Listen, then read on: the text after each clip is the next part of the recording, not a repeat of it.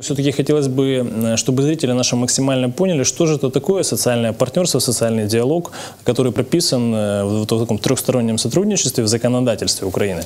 Дмитрий, у нас здесь э, интересная интрига сейчас э, получается. Мы говорим о деньгах, мы говорим о коррупции, да, а теперь подходим к механизму управления. И потом еще поговорим о накоплении этих денег.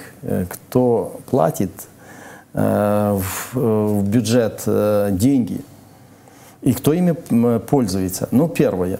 Управляет три стороны, э, фондами социального страхования управляет три стороны. Вы уже сказали о том, что это органы власти, э, представители работодателей. Третьей стороной, вы сказали, это трудящиеся, правильно, э, но доверено профсоюзам. Ну, конвенции Международной организации труда угу. предусматривают, что трудящиеся представляют профсоюзы, как и Конституция Украины, как и закон о социальном диалоге. Поэтому создана трехсторонняя рада социального диалога при президенте Украины. Секретариат при президенте создан, и он финансируется за счет бюджета страны. И задача, э, функции которого, я имею в виду функции секретариата, входит э, вопросы, организовывать, собирать, э, ну, съезды, организовывать, помогать организоваться в работе на трехсторонней раде социального диалога. По 15 человек от каждой стороны. Угу. Вот. И это своего рода, своего рода создалась такая кормушка, потому что э, функции наблюдения осуществляет государство и имеет больше как бы силы и влияния. Это делается через э, Министерство социального диалога. Э, это делается через Министерство социальной политики. Э, дальше Федерация работодателей – это некий Фирташ и его команда. И со стороны профсоюзов, там вот наши профсоюзы имеют э, всего один голос, тобто я имею в виду независимые профсоюзы. Это старые профсоюзы, они там представляют 14 голосов в каждом из фондов социального страхования. То есть по 15 человек с каждой стороны, э, ваш профсоюз один это голос. один голос, да? Да, в одном фонде. Угу. И, э, естественно, решения принимаются большинством. То есть создана хорошая кормушка. Уворовать бюджетные деньги сложно. Контроль э, серьезный, и надо отчет составлять серьезный, хотя люди, многие понимают, что а, воруются деньги из бюджета, воруются mm-hmm. миллиардами. А здесь вот никто не знает, как осуществляется отчисление, кто является плательщиком фонда социального страхования. Основным плательщиком являются работодательские организации.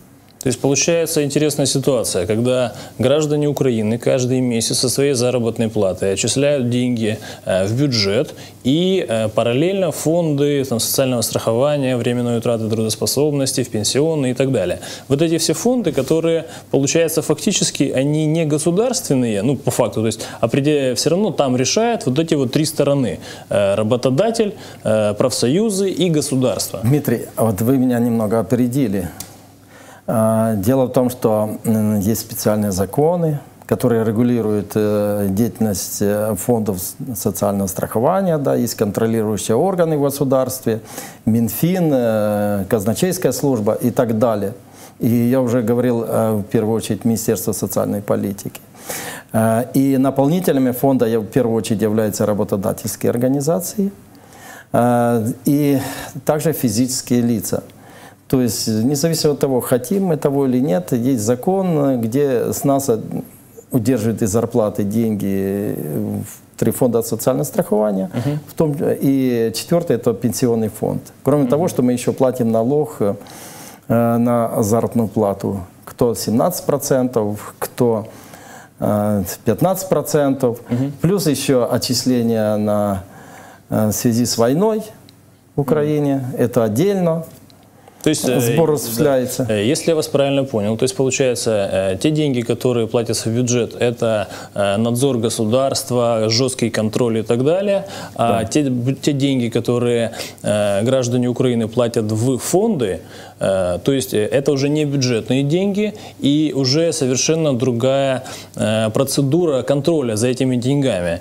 И получается, что те деньги, которые в фондах, Распределяют их, естественно, вот три стороны социального диалога – государство, профсоюзы и работодатели. То есть получается, кто попал в эти 15, э, в топ вот этот 15 человек, кто имеет там большинство, тот и определяет, куда расходуются эти деньги, которые платят каждый месяц со своей заработной платы и работодатели, и э, Да. э, сотрудники. этого Абсолютно граждан. правильно, Дмитрий.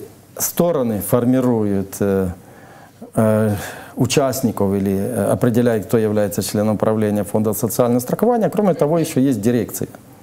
Даже если члены правления там сбунтуются какой-то период или на короткий момент, а то а дирекция там в дирекции поставлены люди, которые уж четко знают, э, сколько денег украсть, кому отнести. И в первую очередь э, к этому причастны министры социальной политики, независимо от какой власти они. То есть они все равно имеют процент, я так понимаю, какой-то. А, Они, их команды имеют серьезные проценты, дальше заносят э, представители контролирующих органов, спецслужб, которые тоже смотрят, кто сколько ворует, а там приходят, о себя напоминают, или там своих людей в штаты, в директор, э, дирекции тоже заводят. Не только для контроля, а для того, чтобы их люди там давали сигнал, понял. Кто сколько потом должен э, вернуть э, в виде откатов. Э, Хорошо, но если мы видим такую плачевную ситуацию, а что делает общественность, представители общественности? Почему ничего не происходит? Почему складывается впечатление визуально, что всех все устраивает, когда мы видим, что есть фонды социального страхования, куда заходят небюджетные деньги, естественно, надзор за ними значительно меньше, нежели за бюджетными. И там, собственно, происходит непонятно что, ск- насколько я вот пытался на сайтах найти там отчеты какие-то детальные о закупках, и, ну, это достаточно тяжело и проблематично сделать. Э, Как так получилось, куда смотрит общественность? Дмитрий, а кто общественность? Вот общественность – это э, представители трудящихся профсоюзы.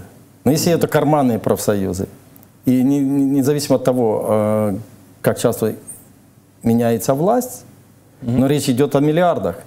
Поэтому старые карманные профсоюзы, э, э, они в, в команде тех, кто распоряжается этими деньгами, и тех, кто их и ворует. Так. Новые профсоюзы, там один-два голоса, они ни- ничего не значат. Ты бунтуй сколько хочешь. Э, В нас средства информации тоже подконтрольны. Обращайся в силовые структуры, никто тебя слышать не будет.